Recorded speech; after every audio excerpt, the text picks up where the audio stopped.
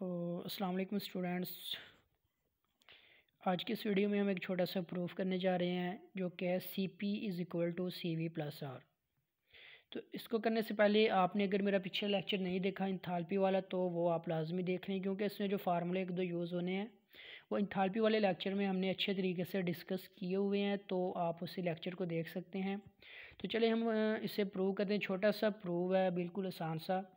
तो यहाँ पर सी पी है क्या असल में specific heat at constant pressure same है यहाँ पर C V specific heat at constant volume और यहाँ पर जो आर है वो गैस करेक्टरिस्टिक कांस्टेंट है, जो कि हमने अच्छे तरीके से इन वाले लेक्चर में डिस्कस किया हुआ है। आप उस लेक्चर को लाजमी से देखिएगा। तो चलें स्टार्ट करते हैं।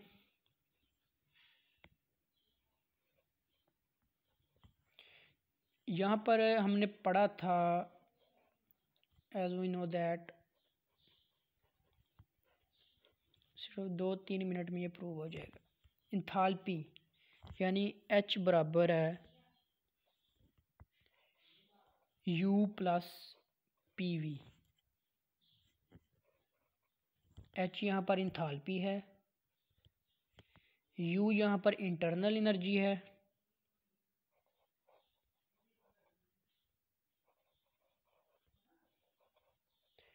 एंड पी वी यहाँ पर प्रेशर और ये वालियाँ आपको पता है तो यहाँ पर मैं आपको बता दूँ कि जो इंटरनल एनर्जी है, यानी सॉरी इंथालपी है, इसकी कोई स्पेसिफिक डेफिनेशन नहीं है, बल्कि हमें ये खुद एक डेफिनेशन क्रिएट की है, जो कि है sum of internal energy and product of pressure and volume this is called enthalpy तो अभी हम, यहाँ पर हमने ये भी डिस्कस किया हुआ है कि पीवी जो होता है,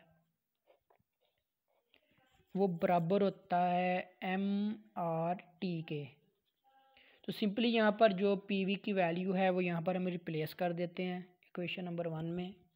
So enthalpy is equal to U plus PV की जगह जगह पर इसकी जो वैल्यू है, वो रिप्लेस कर देते हैं। तो ये हमें मिल जाएगी वो रकम। तो यहाँ पर अभी हम इसमें डिफरेंशियल ऐड कर देते हैं दोनों तरफ़, यानी taking differential on both side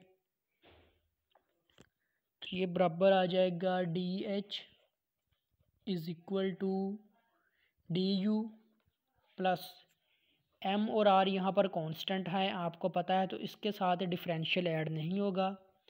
M R at as it is आ जाएँगे और टेम्परेचर के साथ यहाँ पर डिफरेंशियल आ जाएगा।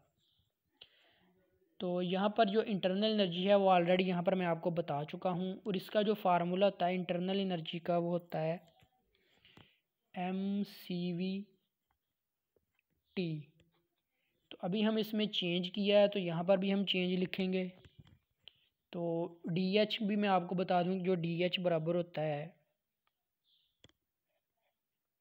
वो एम सी पी टी के होता है और यहाँ पर हमने डिफरेंशियल ऐड किया है तो टी के साथ भी डिफरेंशियल लिखेंगे। तो यहाँ पर इनकी हम वैल्यू रिप्लेस जस्ट कर देते हैं। डी एच की जगह पर आ जाएगा M C P T T which is equal to D U की जगह पर इसकी जो अभी हमने वैल्यू यहाँ पर लिखी है, वो रिप्लेस कर देते हैं। M C V D T plus ये एज इट इज़ आ जाएगा M R D T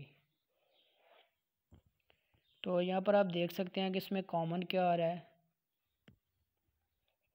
M C P D T यहाँ पर से एम कॉमन लें।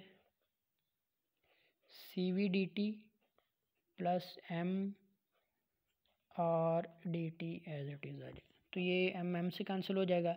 इसी तरह यहाँ पर आप देख सकते हैं कि डी टी यहाँ से कॉमन आ रहा है इधर से, ये डी टी डी टी से कैंसिल हो जाएगा। तो बचेगा C P is equal to C V plus